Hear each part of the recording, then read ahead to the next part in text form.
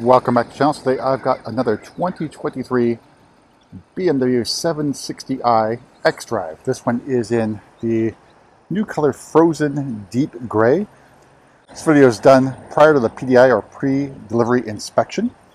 We'll go over this one hopefully in a little bit more detail than the last 760 we had on the channel, which was in Frozen Pure Gray. So obviously it's a much darker color. So all the 7 series, the exception of the i7, comes standard with the M Sport package. This one has the M Sport Professional package. You can tell that because it has the blacked out kidney grills. It also has the Executive package, which is no longer available on the 7 series. So you have the crystal headlights here.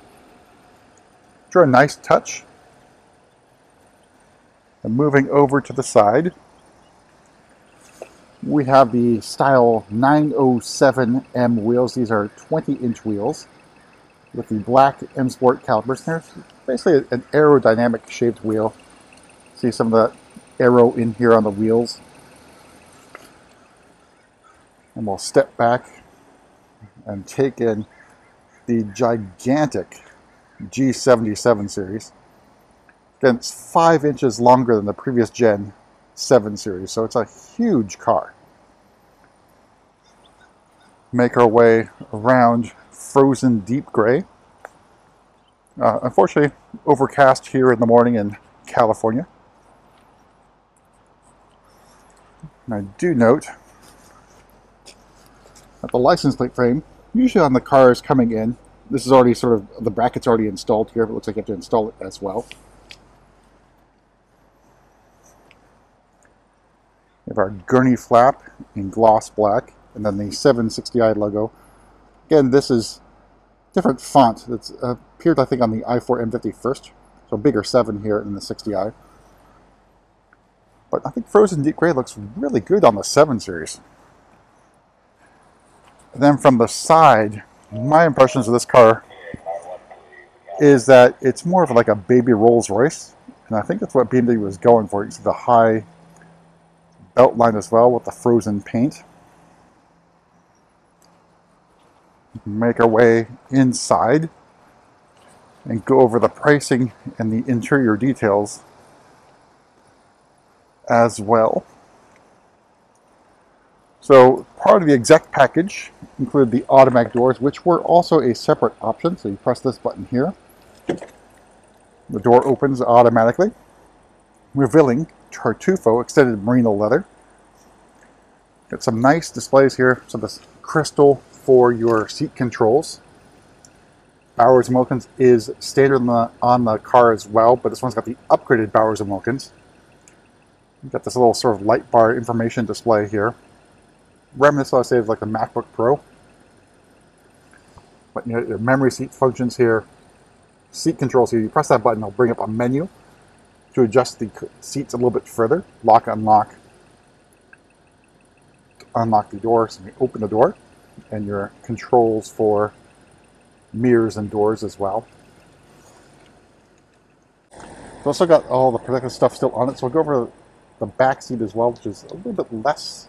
So you can press this button to close the door. You can also put your foot on the brake pedal. The car is on. Basically press that brake pedal, door closes. And we've got our iDrive 8 instrument panel and the curved display, which I think looks really great on the 7 series. Now, some of you out there have complained about the integration. You can see how it's integrated into the dash, maybe a little bit more, but personally I don't really care. I think it looks good. All right, so the trim is the Mirror Oak High Gloss trim, which sort of blends into the upper dashboard, given the contrasting colors of Tartufo and the black here. your interaction bar. So passenger side also has the automatic door. And also light up in different colors based upon the mode or the ambient lighting. So if I ever go into sport mode here, well, a little bit harder to see, but it lights up in the M colors. You can see the blues over there, as well as the red across the dashboard. But pretty good. Then your steering wheel, the M Sport steering wheel, which I think looks pretty good as well. So it's pretty good design, I think. And your paddle shifters up here, your boost function up here. So here's your so controls for the cruise control and driving assistance are over here on the left-hand side of the steering wheel.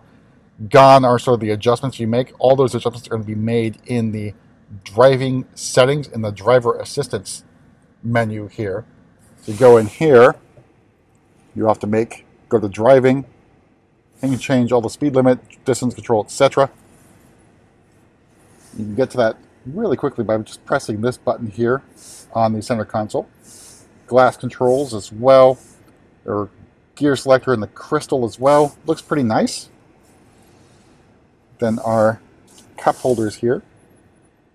That mirror oak high gloss trim. A little bit more of the interior trim here. But we'll make our way into the back seat and talk about that momentarily. But first, let's go over pricing and options. So, starting price of the 760i xDrive, $113,600. 5000 bucks for the frozen deep gray paint. Merino leather is included. 2100 bucks for the driving assistance pro package.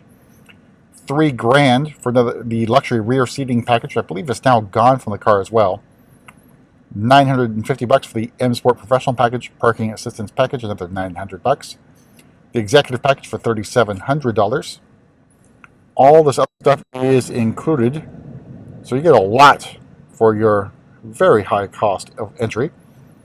Bowers & Wilkins sound system, $4,800, and that's the upgraded Bowers & Wilkins sound system, so 4D sound, etc. Wheel locks were added, all told MSRP of $135,165. All right, so we're to get out, we're to press this button. Now I can go to the screen here and open the rear door as well. Always a little tricky getting that door to close with the automatic button. That resistance point's a little bit hard to deal with. So here's the rear seat luxury package in Tartufo, which looks really good. And it contrasts nice with the frozen deep gray.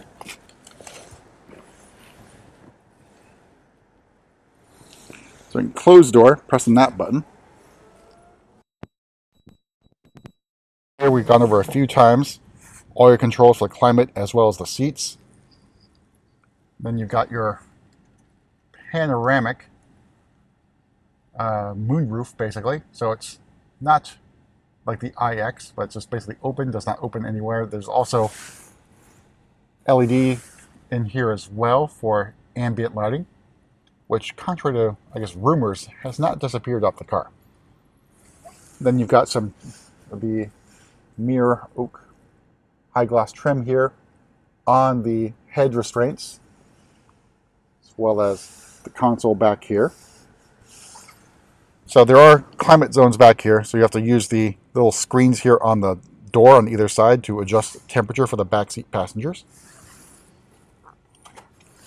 You can get the accessories that plug in the back here, basically an iPad holder as well as the coat hanger and USB-C charging port as well. All right, so this folds down. So you have cup holders hidden here by pressing this button here. That pops open. You can have, I guess, very not very deep cup holder, so I don't know how effective these are, going to be, especially have a big drink like a venti or something like that from Starbucks. But not bad. Also a wireless charger in the back.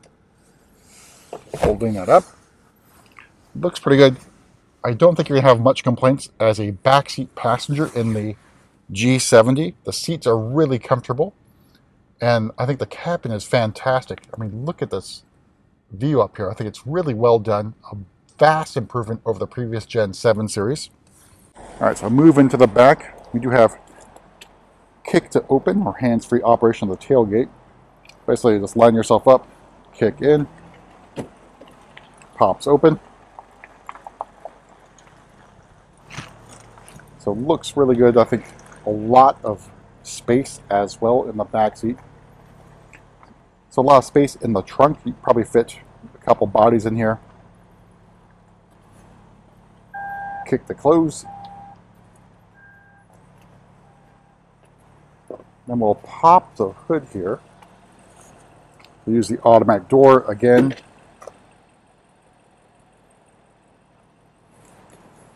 All right, so get to that, go down here and pull the latch there twice pop the hood. All right, so underneath the hood is the S68 V8 engine. So 4.4 liter V8 twin turbo engine. Got 536 horsepower here, as well as 553 torques. So a very powerful engine. I think BMW says this gets 0 to 60 in about 4.1 seconds, so it's probably more like 3.9 in real world testing. But let me know what you think about Frozen Deep Gray. New color on the very good looking, at least in some angles, 7 Series, but obviously this is not going to be a big seller for us. And you probably won't see many of these on the road either, unless you're in areas like LA or Florida. Probably Miami might be a pretty big seller there. But that's it for a tour around the 760i xDrive. We'll see you at the next video.